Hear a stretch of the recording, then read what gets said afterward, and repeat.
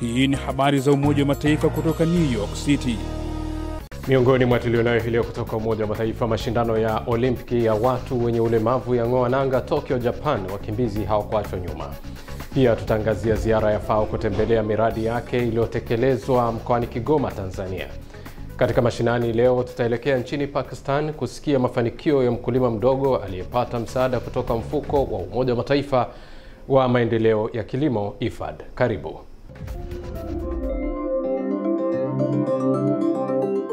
Ni Jumanne ya tarehe 24 mwezi Agosti mwaka 2021. Mimi ni Arnold Kayanda nikikukaribisha katika habari za UN kupitia katika chaneli yetu hii ya YouTube habari za UN na pia katika televisheni wa shirika. Karibu tuanze uchambuzi wa habari zetu hii leo.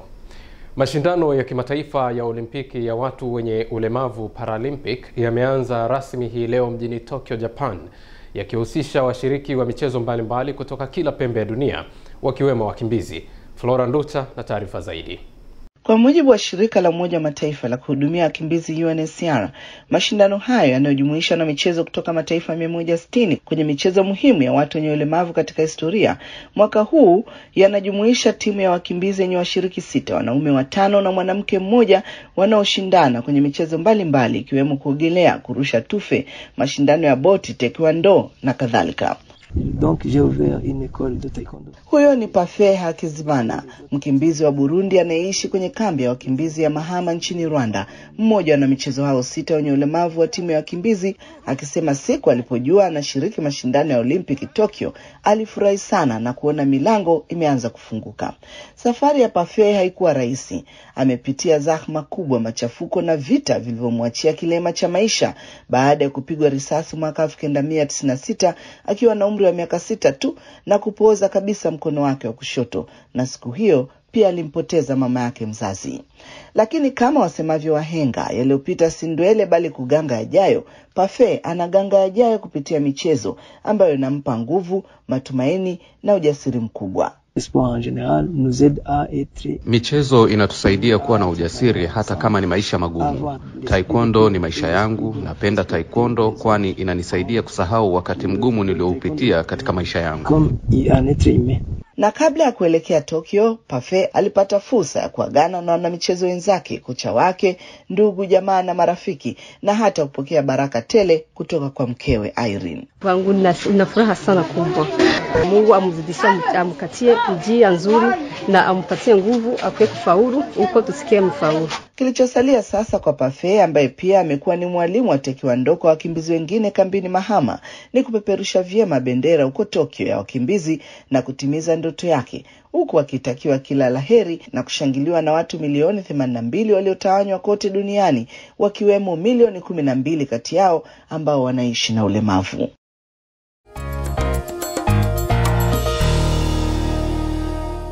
Baraza la haki za binadamu la Umoja wa Mataifa leo limetoa wito kwa kundi la Taliban linaloshika hatamu hivi sasa nchini Afghanistan kuheshimu haki za binadamu, sheria za kimataifa na kutozima matumaini ya raia wa nchi hiyo.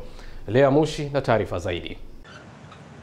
Katika kikao chake cha 31 kilichofanyika leo mjini Geneva nchini Uswiz, baraza la haki za binadamu limesema lina hofu kufuatia ukiukwaji mkubwa wa haki za binadamu nchini Afghanistan. Katika taarifa yake kwenye kikao hicho, kamishna mkuu wa haki za binadamu wa Umoja wa Mataifa Michelle Bachelet amesisitiza kwamba sheria za kimataifa za haki za binadamu hazina mjadala, na kwa watu kufurahia haki za binadamu haijalishi nani aliyeshika hatamu au ndiye mwenye mamlaka.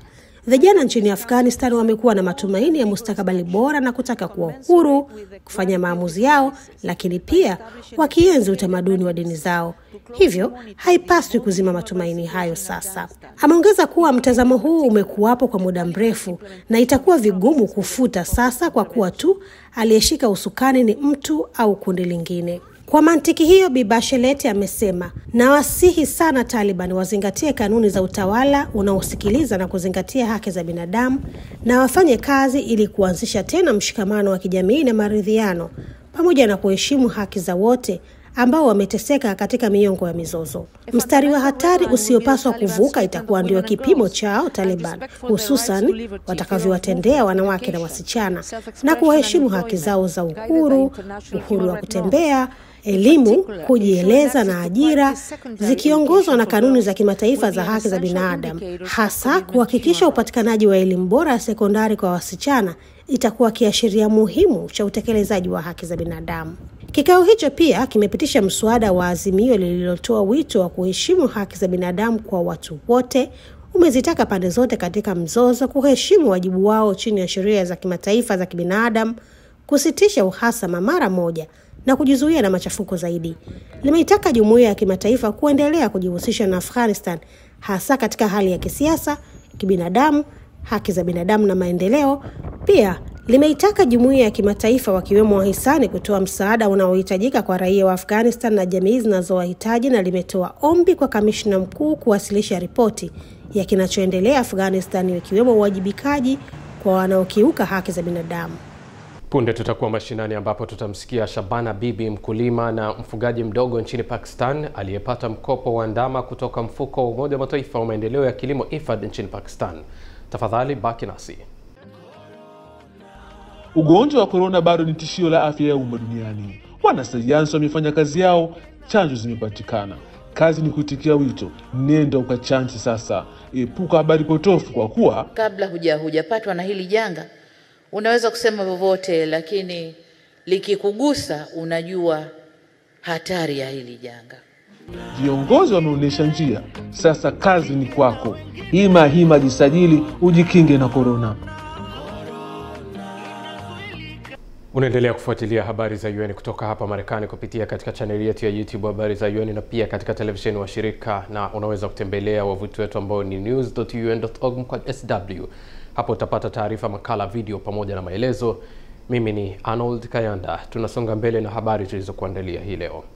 Shirika la chakula na kilimo la Umoja wa Mataifa FAO limewaalika waandishi wa habari katika ziara ya siku nne mkoani Kigoma nchini Tanzania ili kutembelea miradi yake hususan ya uvuvi, yani Fish for ACP mkoani humo, ambayo itakuwa na manufaa makubwa kwa wakazi wa mkoa huo na kwingineko. Miongoni mwa waandishi habari hao ni Devota Songorwa kutoka redio wa shirika Tanzania Kids Time FM ambaye ametuandalia taarifa hii. Matembezi hayo ya siku nne yanafanyika katika maeneo mbalimbali yakiwemo Katonga na Kibirizi kwa lengo la kuona shughuli zinazofanywa na wavuvi wadogo wadogo katika ziwa Tanganyika na changamoto zinazowakabili kupitia mradi wa Fish for ACP wa miaka mitano unaotekelezwa na FAO ambao ulianza rasmi mwezi Septemba elfu mbili na ishirini.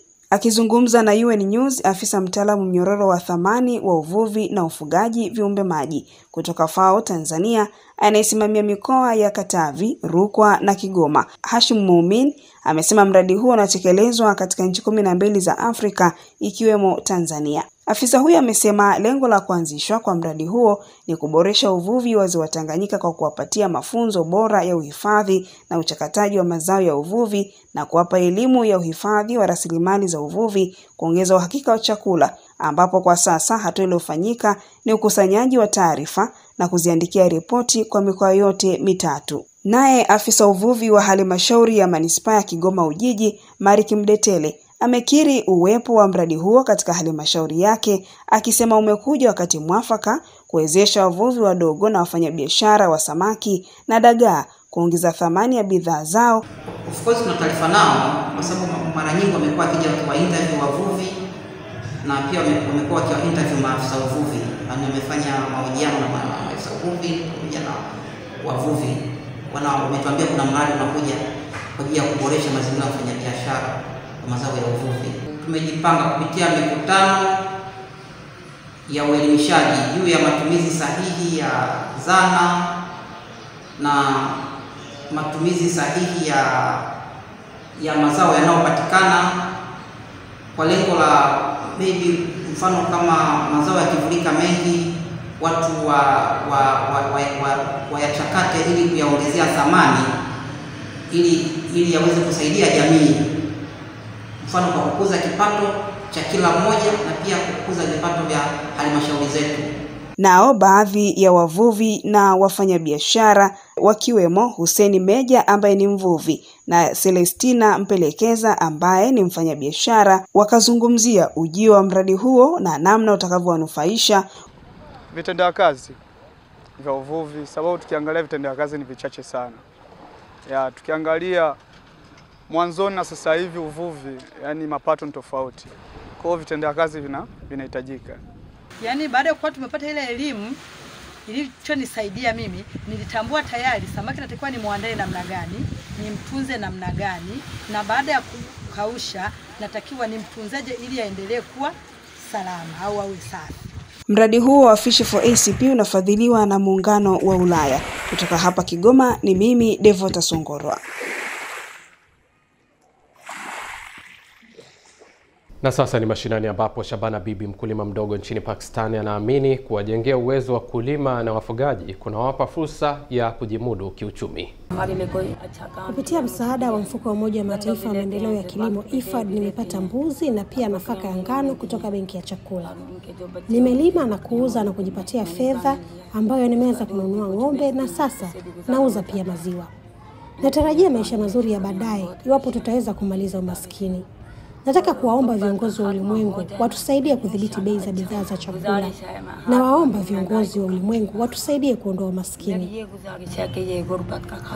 Shukran na Shabana Bibi kwa ushuhuda huo. Nami kufikia hapo sina la ziada, tukutane tena kesho kwa habari nyingine, lakini ili kupata taarifa zaidi unaweza kutembelea wavuti wetu ambao ni news un.org sw na pia tafadhali subscribe kwenye UN News YouTube channel yetu habari za UN, hali kadhalika ukurasa wetu wa Twitter habari za UN. Kwa niaba ya wote walioshiriki, mimi ni Arnold Kenda nasema kwa heri kutoka Umoja wa Mataifa.